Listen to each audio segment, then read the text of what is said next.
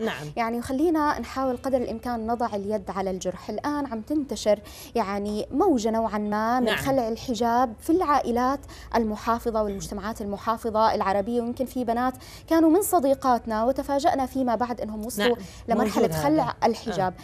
خلينا شوي نقترب أو نوضح تصرفات المتدينين، المجتمعات المتدينة اللي وصلت الفتيات أو بعض الفتيات لمرحلة التنفير من الحجاب. نعم. خلينا نتحدث عنها. آه، اولا إحنا عندنا يعني مع الأسف في شيوخ وفي دعوات كثيرة نعم.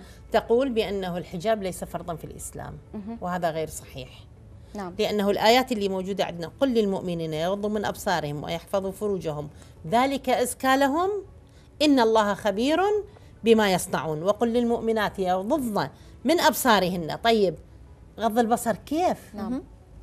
غض البصر إنه أنا ما أطلع عليها وهي فيها زينة أو فيها أشياء أو فيها كذا.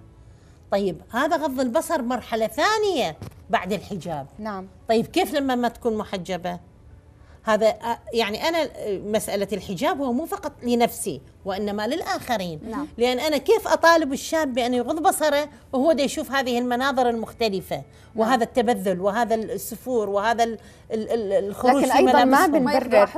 ما نبرر لا إحنا ما نبرر له للشاب لكن لكن لازم على نعينه الطرفين. لازم نعينه نعم. أنا كيف أعينه على غض البصر إنه أهيئ له الجو الملائم. نعم. لا أنا ما أبرر له نعم. ولا أقول له انظر براحتك لا ابدا. يبقى لازم يغض بصره. وهذا أزكى أطهر أفضل. فكذلك ال- ال- ال- هذه مسؤولية. نعم. مسؤولية بعض الشيوخ اللي يفتون بأنه الحجاب ليس فرضا أو مثلا يقولون إنه البنت ممكن تلبس كذا ممكن تلبس يعني أشياء خارجة عن حدود الحجاب نعم.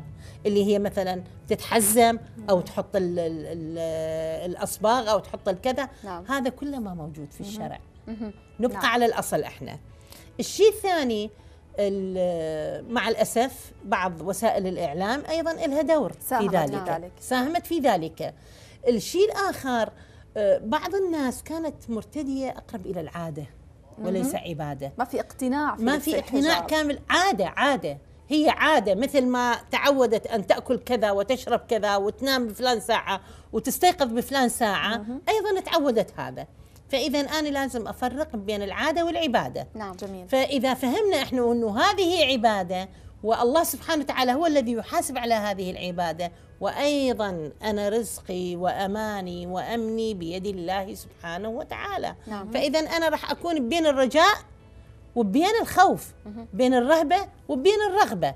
فأحاول إنه اعيشها بهذا الجو. نعم. الشيء الآخر آه، أيضا اللي آه، ساهم في ذلك خروج الناس من بلادها.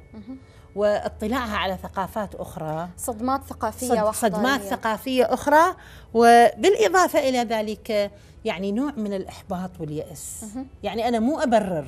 لا نعم. أنا مو أبرر لكنه نعم. أشخص لك صحيح. من ضمن ردة الأسباب. فعل نفسية ربما ردة تكون فعل نقمة على نفسية. الواقع. والعياذ. بالله كأنهم يقولون أين الله من هذه المآسي؟ نعم. طيب الله سبحانه وتعالى موجود. لكن نحن عصينا وبكثرة معاصينا حصل لنا ما حصل. إذا هل نزيد في في المعصية أم نرجع إلى الله سبحانه وتعالى حتى نتخلص من هذا الوضع المأساوي اللي إحنا دا نعيش